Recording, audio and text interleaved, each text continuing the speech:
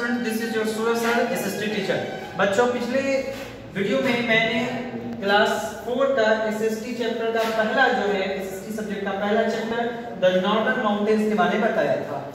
वह video part one के रूप में था। यह वीडियो जो है, आपको पार्ट टू मिलेगा उसी चैप्टर का। तो जैसा कि उस पहले पार्ट में आपको जो है नॉर्दर्न प्लेन के जो पार्ट थे, दो पार्ट हुआ करते थे, काराकोरम और हिमालय। तो काराकोरम के बारे में हमने जान लिया।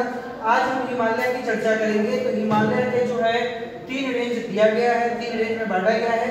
हिमालय जिसको ग्रेट हिमालय हिमाचल जिसे लेजर हिमालय और शिवालिक जिसे लोअर हिमालय के नाम से विख्यात है। हिमाद्री की बात करें तो हिमाद्री जो है, ये जो नॉर्दर्न प्लेन्स नॉर्दर्न माउंटेन्स हैं, उनके सबसे नॉर्थ में, सबसे ऊपर टॉप मोस्ट में आपके हिमाद्री रेंज आते हैं। और यह जो है लगभग सालों भर बर्फ़ से ढका होता है। चलिए है बच्चों, साथ ही साथ इसकी बात करें तो यहाँ पर अनेकों आपको छोटे छोटे बड़े बड़े पीक मिलेंगे, जैसे नंदा देवी आपका जो है नंदा देवी हो गया। उसके बाद आपका ये डलहौजी नंगा पर्वत, ये सारा का सारा जो है, वो आपको हिमालयी रेंज में ही आता है। और इस रेंज में सबसे हाईएस्ट आने वाली जो पीक है जो कि वर्ल्ड की पीक है हाईएस्ट वर्ल्ड पीक वो है माउंट एवरेस्ट क्लियर है बच्चों? तो ये है माउंट एवरेस्ट जो है, आपका इसी रेंज में आता है. साथ ही साथ इंडिया की अगर बात करें तो कंचनजंगा कंचनजंगा जो पीक है, वह भी जो है हिमालयी रेंज में ही आता है. उसके बाद हिमालयी रेंज में अनेकों ग्लेशियर देखने को मिलेगा, जिसमें से दो प्रमुख फ़ेमस जो ग्लेशियर है वह है यमुनेत्री और गंगोत्री।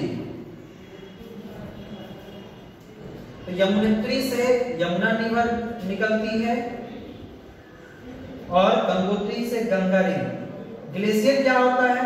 तो ग्लेशियर जो है एक बहुत बड़ा जो है चट, बर्फों का चट्टान होता है है ना? और जो हमारे हिमाद्री रेंज में है, ये प्रमुख दो तरह के ग्लेशियर जो है, दिखने को मिलता है। अनेकों ग्लेशियर है, उनका नाम अलग अलग है, लेकिन हमें जो जानना है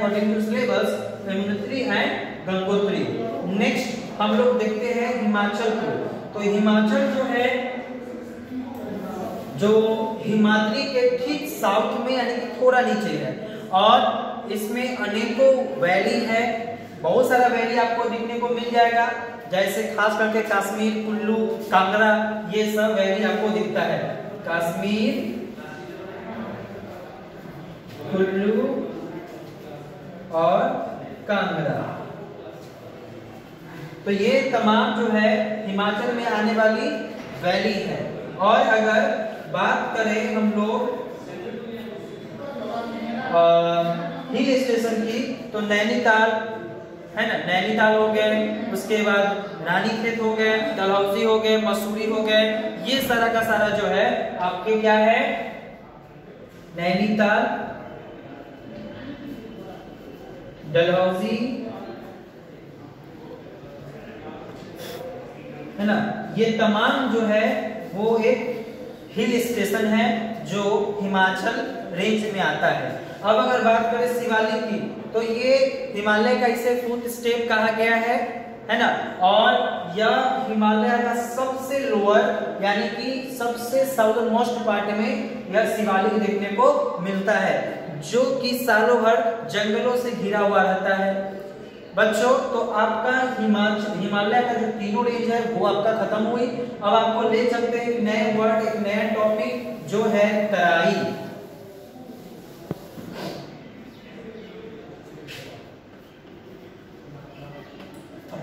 क्या है तो तराई एक तरह का कहो तो खाई जैसा होता है जो शिवालिक के ठीक बाद जो है आपको देखने को मिल जाएगा।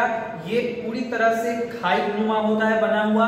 इसके नीचे से लेकर ऊपर तक जो है पूरी की तरह पेड़ पौधे से कवर होता है। पूरा तरह से जो है जंगल नुमा बना होता है है ना? और ये तराई जो है आपको, इसका जो लेंथ है, वो आपको सैकड़ों किलोमीटर में देखने को मिलती है।